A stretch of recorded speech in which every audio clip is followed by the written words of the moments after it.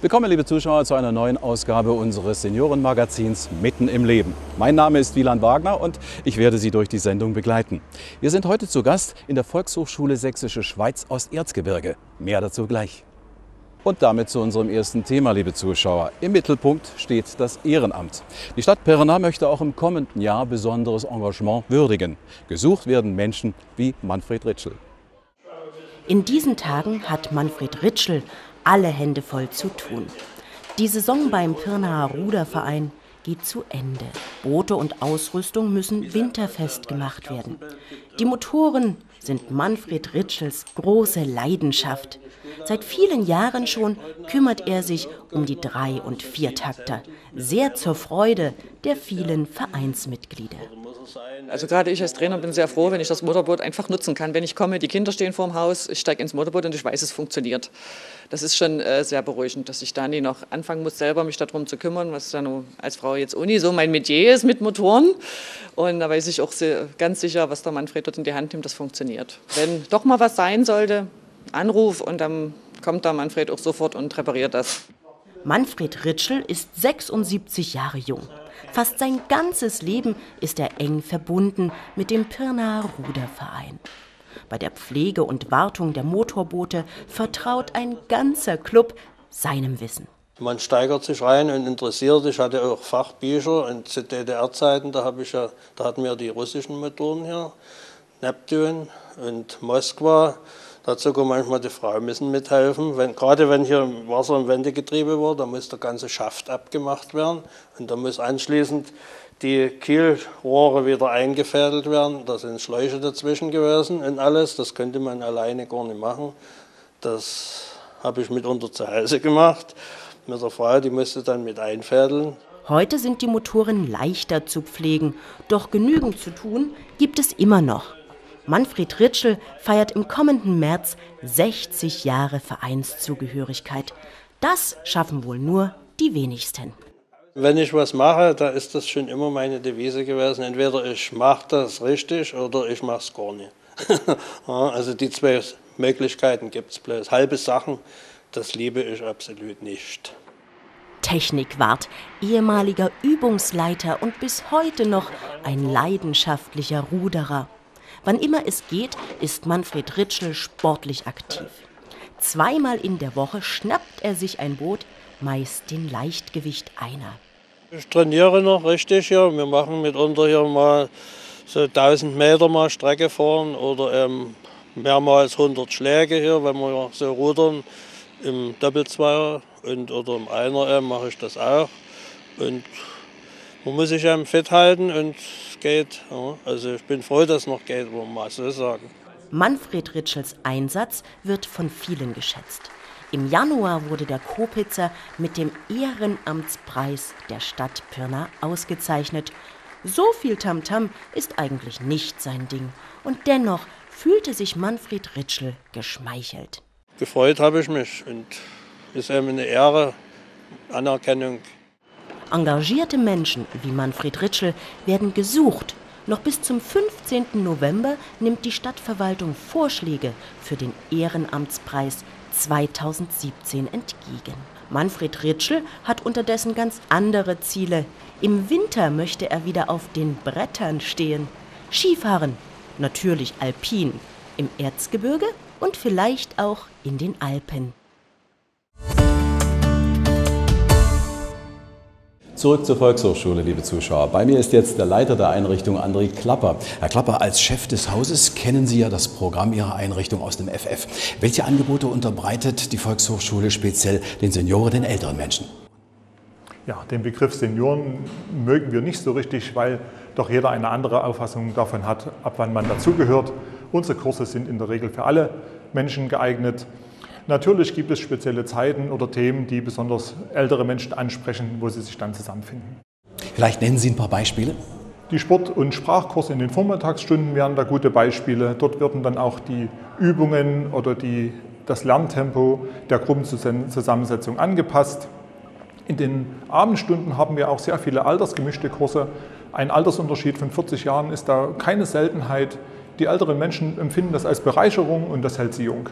Was nun ist das Besondere an einem Kurs für ältere Menschen? Mit zunehmendem Alter kommt zu dem Wissenserwerb, zu dem Wunsch des Lernens auch der Aspekt der sozialen Gemeinschaft rückt da mehr in den Mittelpunkt. Viele Kurse sind über viele Jahre schon zusammen und dann lernt man sich kennen, es entstehen Freundschaften, es werden Geburtstage gemeinsam gefeiert oder andere Aktivitäten unternommen.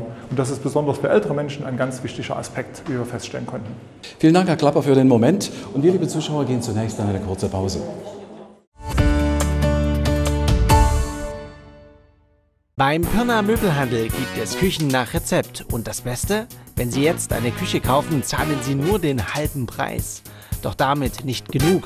Die Beleuchtung gibt es auch noch gratis dazu. Exklusive Einrichtungen, die bezahlbar sind. Das finden Sie nur beim Pirna Möbelhandel auf der Rottwerndorfer Straße 43. Mit Juniorreisen kommen Sie immer bequem und sicher ans Ziel. Ob Tagesausflug, Sonntagsfahrt oder Mehrtagesfahrt. Mit uns sind Sie auf der sicheren Seite und stets bestens versorgt. Junior Reisen, das ganz besondere Reisebüro, spezialisiert auf Senioren. Und wohin geht Ihre nächste Fahrt? Informieren Sie sich im aktuellen Katalog oder direkt im Reisebüro auf der Schössergasse 4 in Pirna.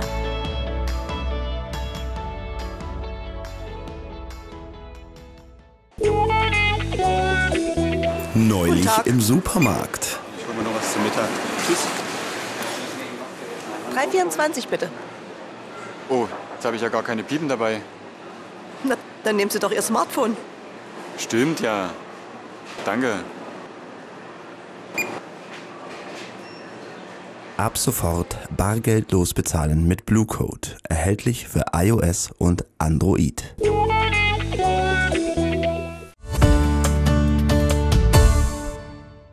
Willkommen zurück, liebe Zuschauer. Computerkurse stehen hier in Pirna hoch im Kurs, auch und gerade bei älteren Menschen. Bei mir ist Anne Mettich.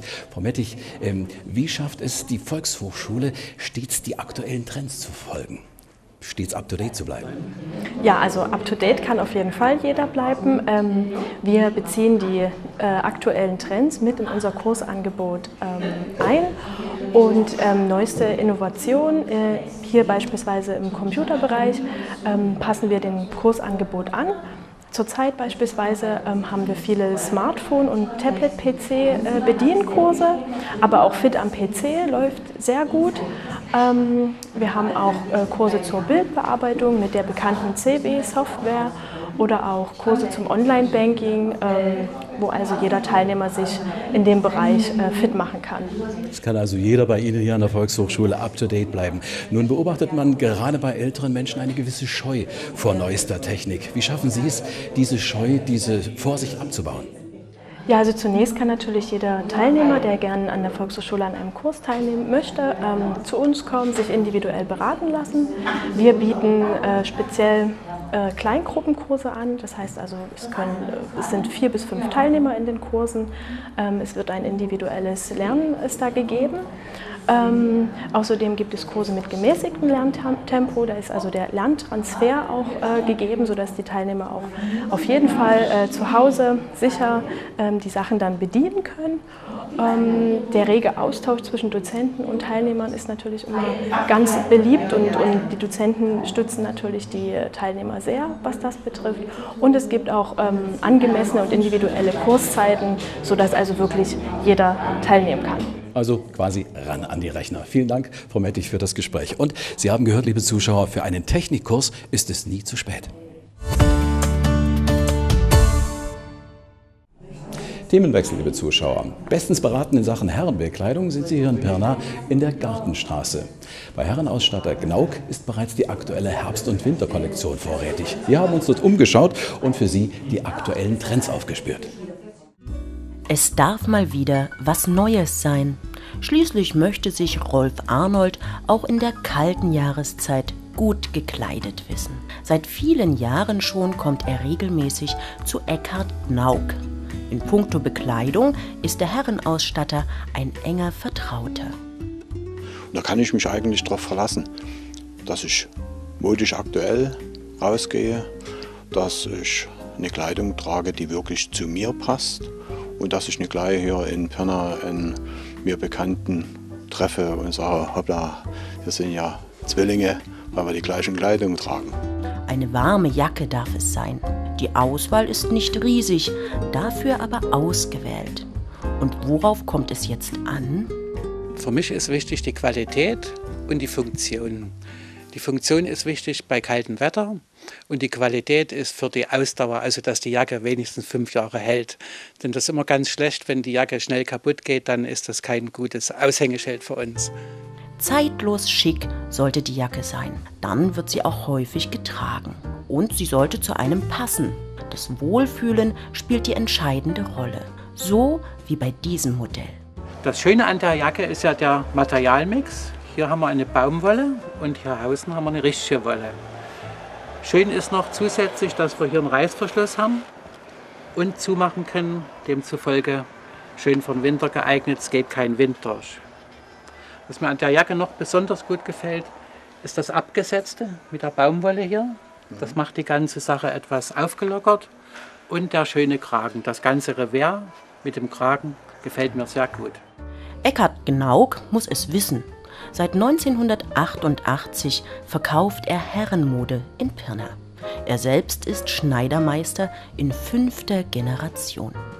Ein großer Vorteil für die Kunden. Denn was nicht passt, wird passend gemacht.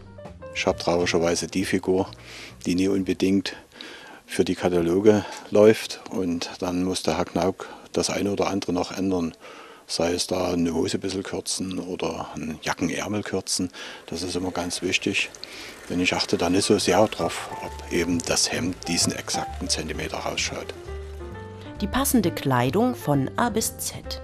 Gerade beim Anzug kommt es darauf an, dass Hemd und Binder zum Gesamtbild passen. Auch bei der Materialwahl gilt es ganz genau hinzuschauen. Wichtig für die Kunden ist natürlich, dass der Stoff wenig knittert. Das bedeutet, dass etwas Chemie drin sein muss.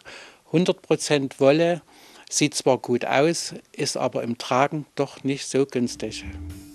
Mit der richtigen Beratung ist es gar nicht so schwer.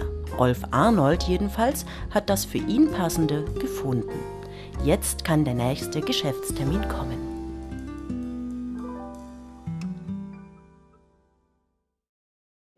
Wohnen im Alter, liebe Zuschauer, ist ein Thema, das uns alle beschäftigt, sei es als Angehörige oder für den eigenen Lebensabend. Einer Umfrage zufolge können sich mehr als die Hälfte aller 50- bis 80-Jährigen ein Leben im betreuten Wohnen vorstellen. Wir zeigen Ihnen ein Beispiel aus Pirna. Ursula Rodewald in ihrem Zuhause. Die 81-Jährige wohnt in einer gemütlichen Zwei-Zimmer-Wohnung direkt in Pirnas Altstadt. Bewusst entschied sie sich, vor zweieinhalb Jahren noch einmal umzuziehen.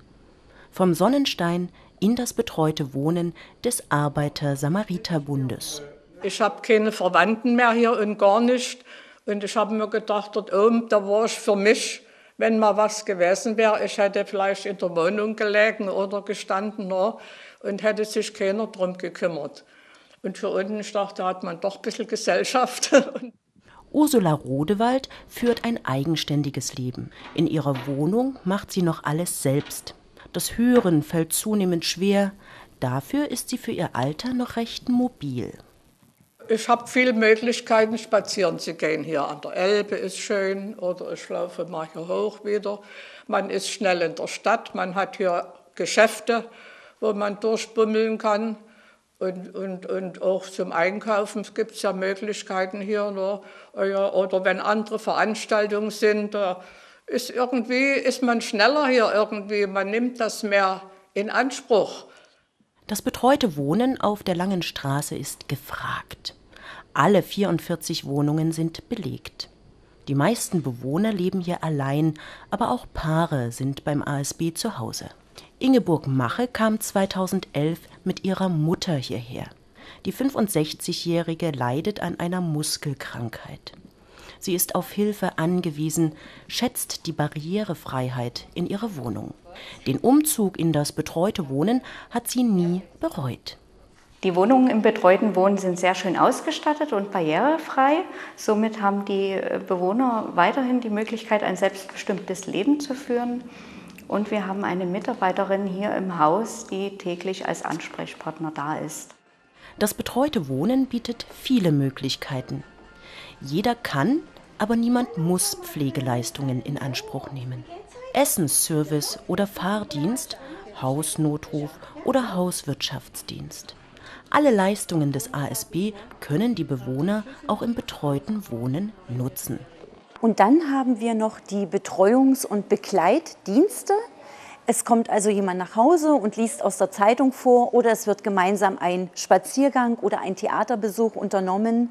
Und das ist gerade also auch für fitte und aktive Seniorinnen und Senioren von großem Interesse. Seit neuestem ist auch der ambulante Pflegedienst des ASB in Pirna vor Ort. Das Büro befindet sich direkt im Gebäudekomplex und ist somit auch für die Bewohner und deren Angehörige leicht zu erreichen.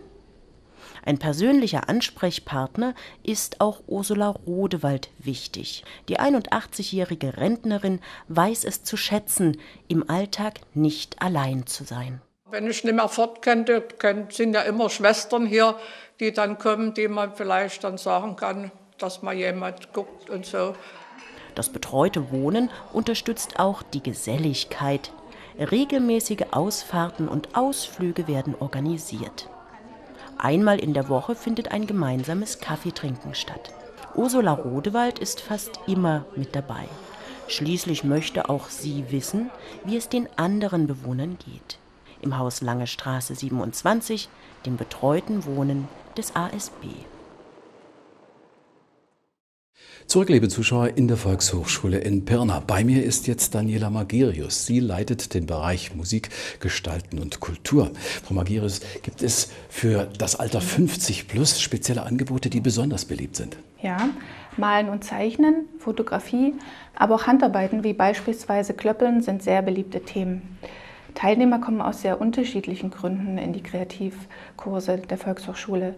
Zum einen möchten sie vielleicht ein altes Hobby wieder neu beleben oder etwas Neues ausprobieren, aber vor allem möchten sie gemeinsam kreativ sein. Welche Angebote, um richtig kreativ zu sein, gibt es?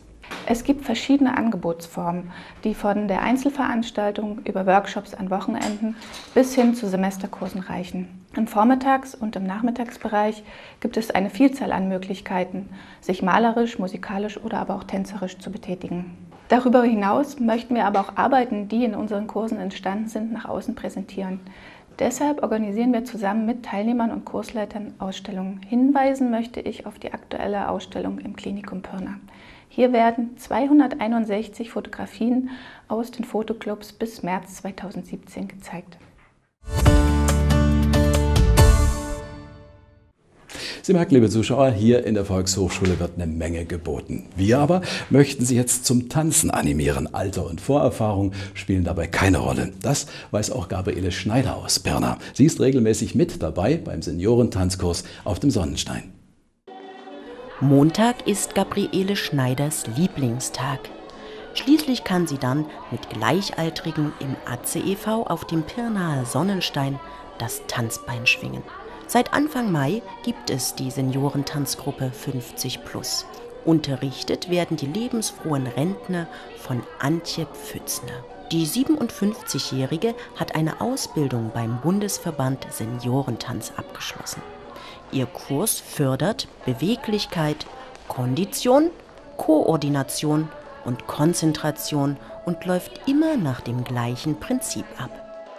Wenn wir eine Stunde beginnen, haben Sie schon mitgekriegt, das ist der Begrüßungswalzer. Da tanzen wir erstmal so im Walzertakt von Tanzpartner zu Tanzpartner einmal rum.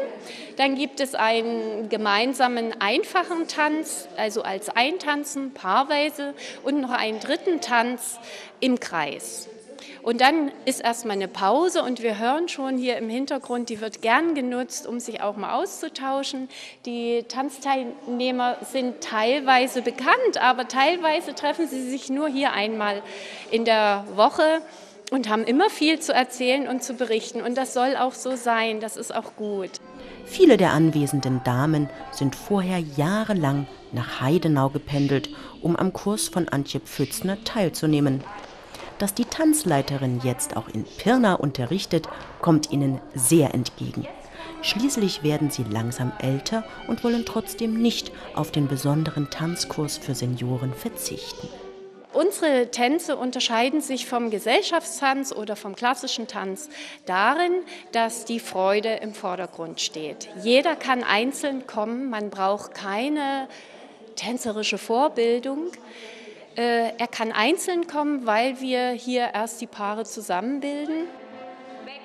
So wie bei vielen anderen Veranstaltungen sind auch bei der Seniorentanzgruppe hauptsächlich Frauen anwesend.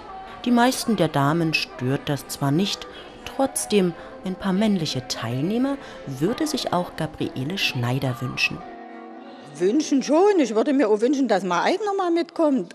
Aber im Moment arbeitet er noch, wenn er dann aufhört. Aber ich weiß nicht, ob ich ihn überzeugen kann. Uwe Retsch ist so ein Unikat, der sich traut. Der 65-Jährige hat jahrelang Paartanzerfahrung gesammelt. Nun, wo er ins Rentenalter kommt und der Körper nicht mehr ganz so mitmacht, will er sich neu orientieren. Ich muss über den Winter kommen. Jetzt kommt die Winterzeit, da ist es grau und trübe. Und bevor man in Depressionen verfällt, äh, ist mir sowas sympathischer.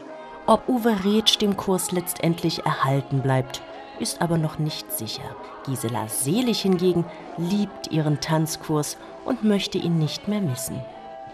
Obwohl die 75-Jährige auch bei den Atzelärchen singt und sich als Vorleseoma in einer Kita engagiert, steht für sie fest, dass ihr Leben ohne das Tanzen weniger vielfältig wäre.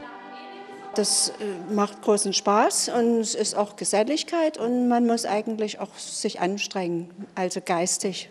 Man wird gefordert, dass man alles behält und es macht aber letzten Endes mit der Musik zusammen, ergibt das eine Harmonie und das ist sehr schön. Antje Pfützner freut sich über das positive Feedback ihrer Gruppe. Die Damen sind der Tanzleiterin ans Herz gewachsen. Damit sich jede der Frauen rundum wohlfühlt, gestaltet sie die Kurse schön bunt. Wir haben von Walzer, wir haben auch mal ein Tango oder ein Blues, aber wir haben auch viele Folklore. Tänze aus, aus, aus der ganzen Welt sozusagen, auch Musiken aus der ganzen Welt. Wir haben auch teilweise so Musiken von früher, alte Schlager oder noch weiter zurück, so ein bisschen höfisch an mutend. Dann haben wir auch äh, Square-Tänze. Wir haben für jede Anzahl der Tänze haben wir Tanzformationen. Wir haben Sechser-Tänze, Fünfer-Tänze, Vierer-Tänze, Dreier-Tänze, Siebener-Tänze, so dass ich also immer ausweichen kann, je nachdem, wie viele äh, Teilnehmer da sind. Auch wenn der Kurs gut gefüllt ist. Neue Tanzbegeisterte sind gern gesehen und können jeden Montag zwischen 15.50 Uhr und 16.20 Uhr teilnehmen. Das, liebe Zuschauer, war unser Seniorenmagazin Mitten im Leben. Zwei Empfehlungen habe ich noch für Sie. Zum einen das Programm der Volkshochschule hier in Pirna und zum anderen der Tipp auf unsere nächste Sendung. Mitten im Leben heißt es wieder in der Woche ab dem 28. November. Ich wünsche Ihnen eine gute Zeit. Schalten Sie wieder ein.